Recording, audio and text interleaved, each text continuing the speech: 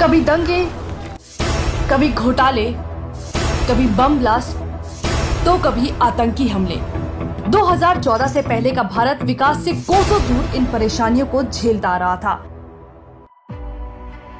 लेकिन जैसे अंधेरी रात की सुबह होती है, ठीक उसी तरह 2014 में प्रधानमंत्री मोदी की सरकार बनी और देश विकास जन कल्याण के पथ पर चलने लगा। पीएम मोदी ने देश को हर मोर्चे पर न केवल संभाला, बल्कि एक मज़बूत भारत की नींव रखी, जिसे वर्षों तक कोई हिला नहीं सकता। धर्म।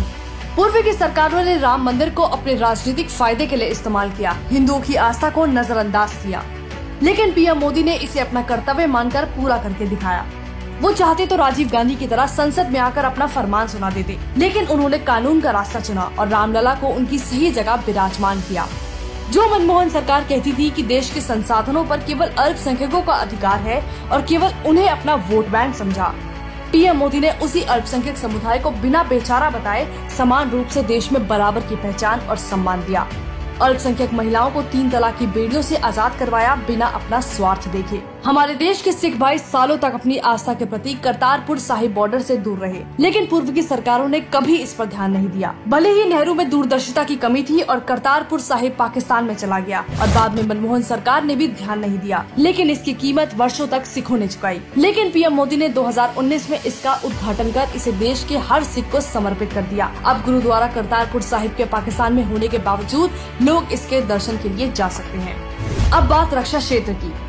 एक समय था कांग्रेस का जब उस समय के रक्षा मंत्री ए के एंटनी ने खुलेआम कहा था कि भारत के पास राफेल खरीदने के पैसे नहीं हैं। ये वो समय था जब हमारे सैनिकों के पास बुलेट प्रूफ जैकेट तक नहीं थी। और तत्कालीन प्रधानमंत्री ये कहकर पल्ला झाड़ लेते थे कि पैसे पेड़ पर नहीं उगते। 2010 से 2013 के बीच चीन ने भारत में 600 से अधिक बार घुसपैठ करने की कोशिश की थी। लेकिन उस पर कार्रवाई या जवाब देना तो दूर, उल्टा राहुल सोनिया उन्हीं की गोद में बैठे एमओयू साइन करते नज़र आए थे। लेकिन मोदी सरकार में भारत रक्षा क्षेत्र में खर्च करने वाला तीसरा सबसे बड़ा देश है। आज भारत के पास Rafale, Apache, Tejas bullet proof jacket, BrahMos missile सब कुछ है। आज चीन बॉर्डर पर कोई हरकत करने से पहले हज़ार बार सोचता है क्योंकि उसे मोदी सरकार का डर है। इंफ्रास्ट्रक्चर। 2019 से पहले भारत के पास न तो संसाधनों की कमी थी, न ही पैसों की। अगर कमी थी तो वो काम करने की नीयत की। जो हाईवे 2014 तक इक्यानवे हज़ार किलोमीटर तक सीमित थे, मोदी सरकार में वही एक दशमलव सैतालीस लाख किलोमीटर तक फैले हैं। जो एक्सप्रेस वे 2014 तक 200 किलोमीटर तक सीमित थे 2022 में 2360 किलोमीटर तक फैल चुके हैं। आज भारत चाहे रेलवे स्टेशन हो, एयरपोर्ट हो या मामूली बस स्टैंड, सबका नव निर्माण करके उसे विदेशों जैसा बना रहा है। भ्रष्टाचार। एक लाख छिहत्तर हज़ार करोड़ का टू घोटाला। एक लाख छियासी हज़ार करोड़ का कोलगेट घोटाला। ये वो घोटाले हैं जिसमें मनमोहन सरकार कभी उभर ही नहीं पाई।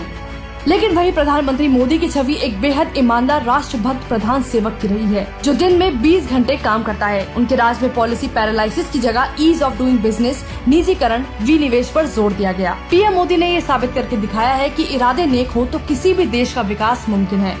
हमारे देश की जनता को गर्व है ऐसे पीएम पर। जय हिंद।